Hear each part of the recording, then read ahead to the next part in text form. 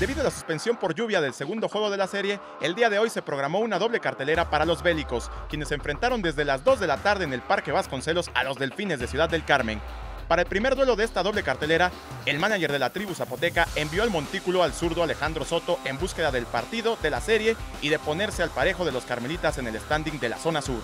Con un inicio titubeante de Soto, los delfines se fueron arriba en la pizarra en el mismo primer capítulo, pero no les duró mucho el gusto. Con cuadrangular de Alex González, el juego se empató a dos. Par de entradas más tarde, los guerreros armaron tremendo rally enfrentando los disparos del brasileño Thiago da Silva.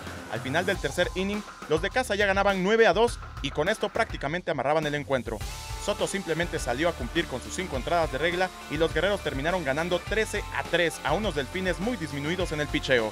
Para el segundo juego, se espera que Rudy Acosta dé los mismos resultados para poder rebasar en el standing a los dirigidos por Félix Fermín.